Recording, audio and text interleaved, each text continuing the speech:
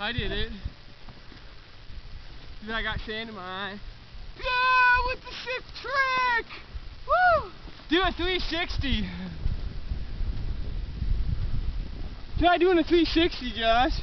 Dude, you know what would be sick? I'm gonna do some effects. When he jumps, I'm gonna be back here. I'm gonna throw sand, so he's like surfing and just jumping off of it.